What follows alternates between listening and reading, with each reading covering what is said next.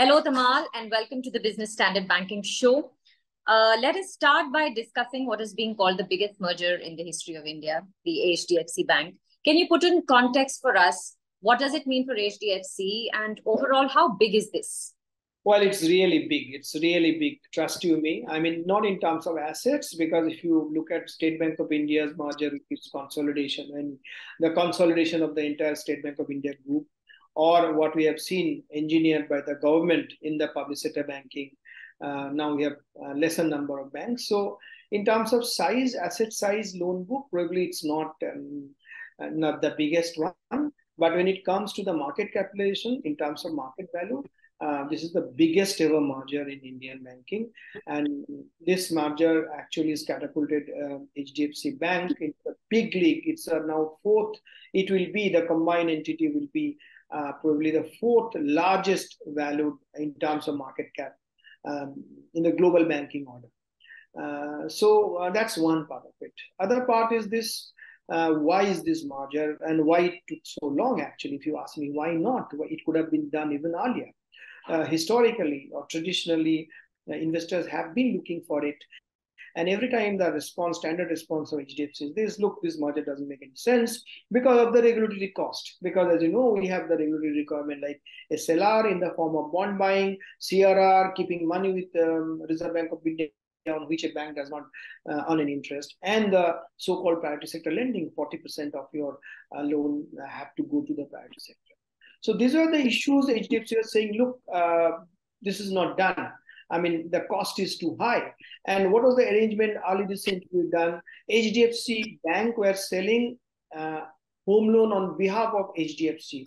And there's sort of kind of internal fee sharing arrangement. But on its books, there are not too much of home loan. So that was one, actually, you can say that gap in the product range of HDFC. So everybody wanted this merger to happen. Otherwise, also structurally, if you see, HDFC is an HFC or NBFC which is holding was holding 21% stake in HDFC Bank, and HDFC Bank in turn holds 100% in another uh, non-banking finance company.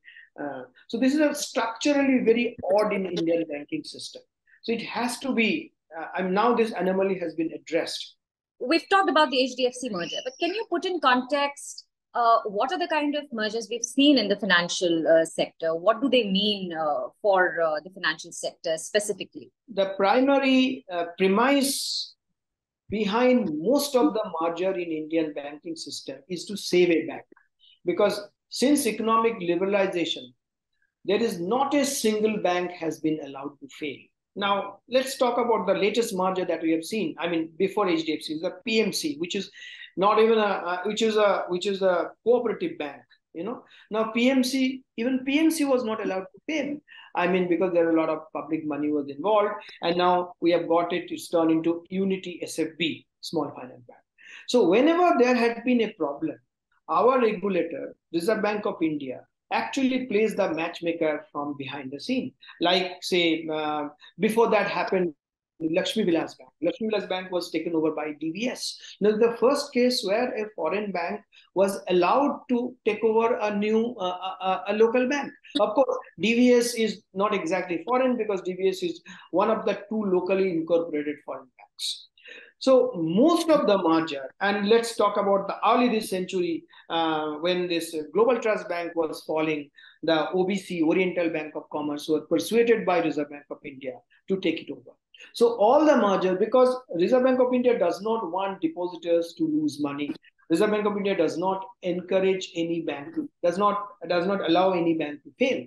Uh, so this is the history of merger. And if you look at like HDFC and HDFC Bank kind of merger happened also like ICICI, the parent, reverse merge with ICICI Bank, or IDBI, the parent, got reverse merge with IDBI Bank.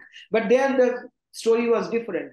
ICICI was suffering from sort of asset liability mismatch. I'm talking about ICICI, the um, the um, financial institution, not the bank. I'm talking about the development financial institution, because the the the so-called cheap funds which the government used to give, the government stopped it post liberalization, and ICICI, the development financial institution, was finding it difficult to survive. So then it got merged with ICICI Bank. We've discussed the whole issue of the health of uh, the banks many times in this show.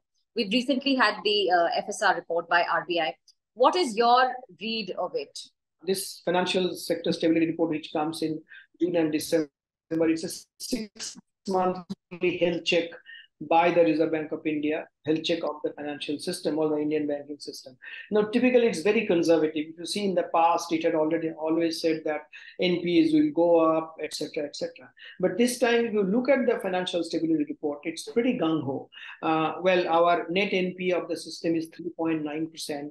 Last time we had this kind of level is 2011. One paragraph I was going through somewhere tucked away within Reserve Bank of India and it talks about know, the, the stress in the unsecured loan, unsecured retail loan, it says about that uh, people's inability to pay off. Typically, you and me, when we take loan, our installment comes in 30 days. If we don't pay within 30 days, then it becomes a sort of special mention account. From 30 days to 60 days, 60 days to 90 days, and beyond 90 days, it becomes an NPA. So people, I think 7.4% of the loans uh, of, of, of the of the borrowers are not being able to pay within 30 days. That's what it says. So there's some incipient stress happening.